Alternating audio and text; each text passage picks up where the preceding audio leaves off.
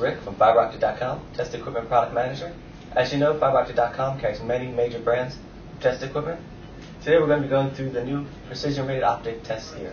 Although we offer many different styles, today we'll be with the Pro 100 Series test kit, a very basic and easy to use test kit. This is the Pro single mode light source, 1310 1550 nanometers. Uh, the part number is LS102D. This is the Pro power meter, the PM102A.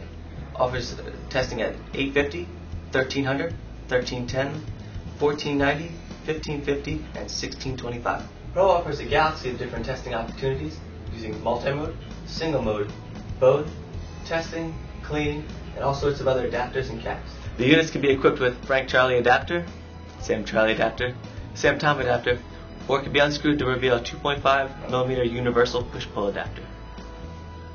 Pro also offers opportunities for cleaning and inspecting your fibers before testing. Today we're going to be doing an insertion loss test. Right now we have our reference cable set up and our mating sleeve to attach them. Now we're going to introduce our fiber under test. Okay, now we've connected our fiber under test to our lead cables. After referencing and cleaning before we connect, we can take our result on the power meter. I'm Rick Carminati. Now that you've seen what the 100 level series can do, be sure to give your rep a call about the 200 level series, featuring auto wavelength detection, data storage, and exportability to Excel. Give us a call at 877 529 9114.